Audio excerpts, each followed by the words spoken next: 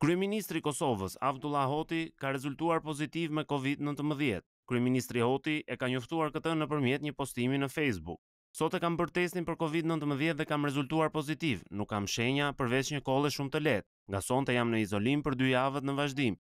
Do të kryej obligimet nga shtëpia, shkruan Hoti në rrjetet sociale.